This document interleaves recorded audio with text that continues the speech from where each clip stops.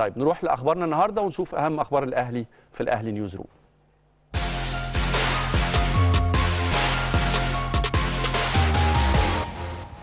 طيب النهارده مارسيل كولر قرر إنه النهارده يدي راحة للعيبة أنا اداهم راحة من التدريبات وبكرة إن شاء الله يرجع الفريق يستأنف تدريباته استعدادا لمباراة الأربع المباراة المنتظرة قدام سيراميكا اللي مقدم الحقيقة season كويس وهنتكلم النهارده عن سيراميكا مع ايمن رمادي لأنه الحقيقة الفريق يعني على المستوى الفردي عنده أسماء مميزة جدا جدا جدا.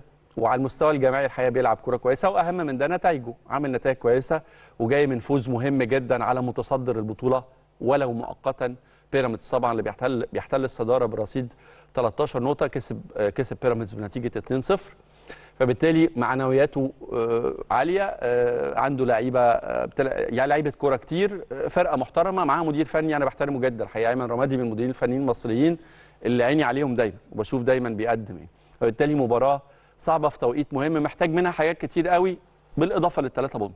أكيد طبعا مفيش شك إنه أنت مش يعني مش محتاج لا تتعادل ولا تخسر مش عشان حساب النقطة والنقطتين. مقدور عليهم وأنا ما عنديش شك إنه الأهلي لما يوصل لمستوى كويس المنافسة أو البطولة إن شاء الله بإذن الله هتكون محسومة لصالح النادي الأهلي. يبدو إنه كل الفرق عندها مشاكل. الزمالك عنده مشاكل كبيرة جدا الفرق اللي بتنافس الأهلي على اللقب يعني. مودرن ما عندوش نفس طويل. بيراميدز وقعته كتير. وبالتالي مع فكرة المواجهات المباشرة أعتقد إنه الأهلي فرصه كبيرة جدا في تحقيق لقب البطولة. نتمنى إن شاء الله بإذن الله بس إنه الكيرف يبقى في الطالع. لكن الأهداف الثانية أنا بشوف إنه مارسيل كولر عنده أهداف كبيرة وكتيرة جدا الفترة اللي جاية وخصوصا إنه بعد ماتش الجونة في فترة توقف هتمتد لحوالي 12 يوم أو 10 أيام. الفترة بتاعه معسكر منتخب مصر الوطني اتمنى له التوفيق طبعا في انطلاقة مشوار تصفيات كأس العالم جيبوتي ثم سيراليون القصة في إيه؟ القصة إنك بعد الرجوع من المعسكر ده تقريبا ما عندكش وقت تقريبا ما عندكش وقت.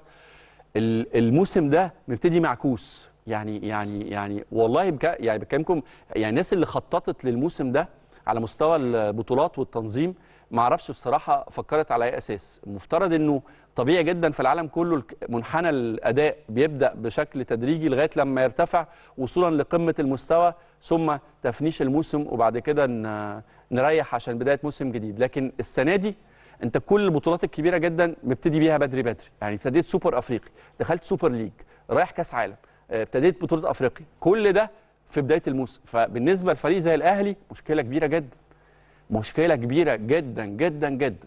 على كل الأحوال. عشان كده بقول لكم أهداف ماتش سيراميكا تتخطى بكتير وبمراحل فكرة الثلاثه point. عندك لعيبة محتاج تجهزها. في لعيبة ما دخلتش squad لغاية دلوقتي.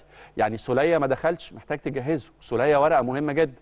كريم نيدفيد كريم نيدفيد أنا بشوف واحدة من أهم الإضافات ل squad الأهلي السنة دي ما خدش فمحتاج ياخد. في لعيبة كريستو محتاج تديله فبالتالي أنت عايز تجهز لعيبة لأنه أنت مع حد متولي نفس الحكاية. فأنت مش عارف لما تروح كأس العالم بعد شهر من دلوقتي مين الأوراق اللي هتكون قدامك.